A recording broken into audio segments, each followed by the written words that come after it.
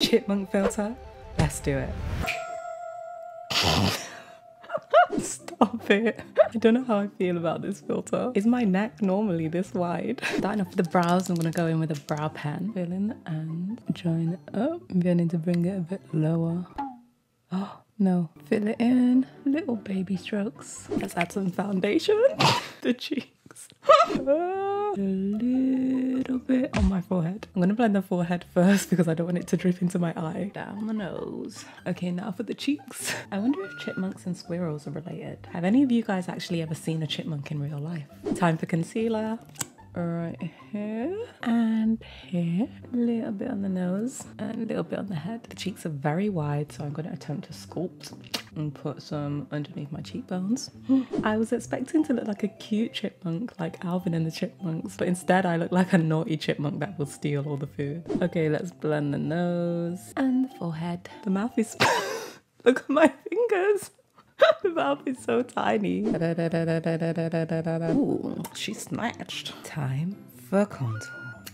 Okay, cheeks, nose. Let's do the chin as well, because this chin is looking too wide. And a little bit on the forehead. Ooh, blending time. You ever see a blend so fast? My arm's getting tired. Good eyes.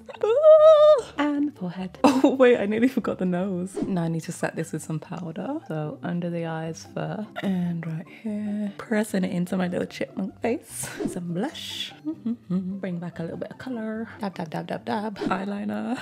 Okay, I can do this. So I just need to go out and in. Oh, this one looks a lot better. I'm gonna go for some big fluffy lashes since chipmunks are fluffy. Oh my goodness, these look like spiders. Now I need to line the lips, so this shouldn't be too hard. I'm going with brown.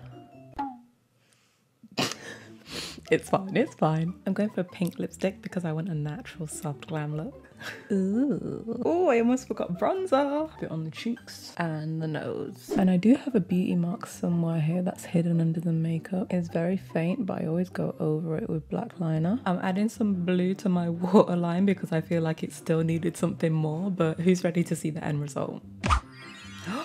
Oh, wait a minute. Why do I kind of love it? I think the lashes definitely saved the look because it's covered up the messy eyeliner. Maybe I should wear big fluffy lashes like this more often. Even though this lash is lifting a bit on that inner corner, trying to fly away. the eyebrows are awful. And that definitely doesn't look like a beauty spot. It looks more like a smudge. But be honest, what do you guys think? Is this a cute or a fail? If you love how it turned out, hit the like button and subscribe to my channel if you haven't already. What are you waiting for? Thanks for watching.